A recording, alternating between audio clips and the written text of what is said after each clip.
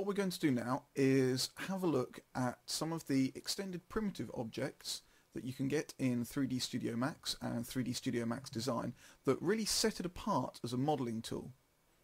And the first one that we're going to be looking at is walls.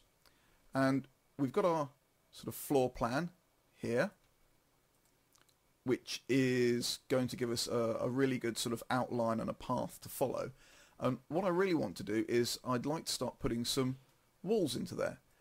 So what I'm going to do is I'm going to go to my create geometry and from there I'm going to drop down to the AEC extended menu.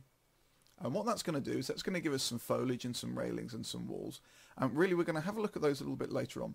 For the moment what I'm looking for is the wall option.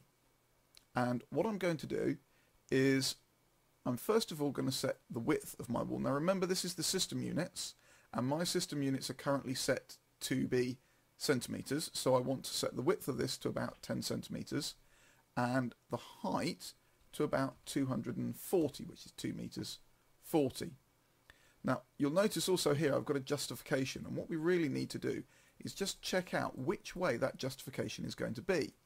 So if I say centered actually first of all I turn on my 3d snap right click and make sure it's set to vertex. If I click down here and then I click off at the endpoint there and just right click to stop.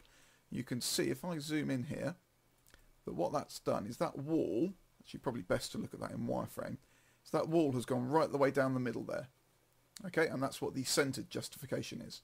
Now I may not want to do that because what I'd like to do is I'd like to have it justified um, to the left. So because uh, obviously I don't want to be cutting into the room. So I'm just going to delete that object quickly and I'm probably going to get this the wrong way around so I'll click on left first of all and then we'll do our justification and there we go I got it right first time. Now you might think hang on a moment you've just said justify left and the wall has appeared on the right hand side. Well this is because it's the line that you draw that guides this wall and then it is justified to the left hand side of the wall not the wall being justified the other way around if you follow me.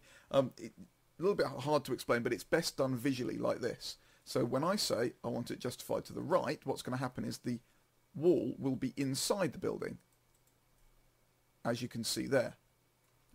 Now, one of the things that we're going to have to be careful of with this is we're going to need to be able to see as much of this as we possibly can in one go. So what I'm going to suggest doing is possibly just coming to the, our top view and zooming out so that if we need to we can use our interactive pan. And I'll start from somewhere simple and straightforward like here. And what I'm going to do is I'm just going to start drawing the whole of this wall all the way around here just following just by left clicking round. Now it may seem that this is going to be a little bit sort of laborious but it is actually worth the effort. Now when I get to here I can't use my middle mouse to pan because otherwise what will happen is uh, I will lose focus on my tool. And really that's not what you want to happen because you want to try and get around this all in one go. So I'm going to press the I key, which is the interactive pan, and that will give me all the way down to here so I can carry on going. And we'll work our way around and I'll press I again. And again I will have to work my way around this wall and again we'll press I. And we'll just follow ourselves around. Now really what we're doing is, is we're assuming that we're going to be doing an interior render of this building. And let's just go there. Let's come up I for interactive zoom. There we go interactive pan and I can left click and it says do I want to weld point? And we're going to say yes and then right click. So if I come back to my perspective view and I press F3 what I've got now is one complete wall with all of my edges in there. Everything's all welded together. If I go to my modify panel and I come down here to vertex I can if I need to.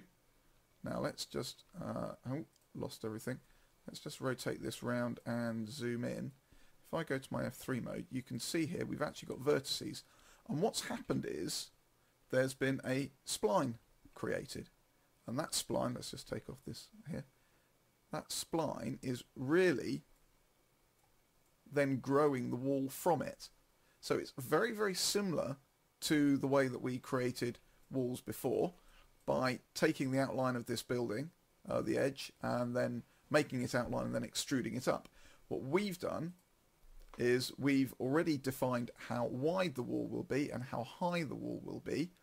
Uh, and then after that, we've just gone around and click, click, click, click, click, and we've created it. One thing you can't do, as you can see from here from my modify tab, is I can't go back, I can't make that wall wider or thinner, and I can't change the height. So if you muck it up and you get to this stage and you think, oh, actually, I'd like that wall to be a bit higher, or I'd like it to be a little bit wider, then really what you've got to do is either stop and put that segment in, and you can see here that I can attach multiple sections of wall, um, which I really didn't want to get into before, but you can do. Um, you, you've basically, you've just got to go back again. So do be careful do watch out for the fact that when you're creating these walls, make sure you get the width correct the first time round and the height as well. But after that, what you've got is a very interactive wall that we are then going to build on going forwards.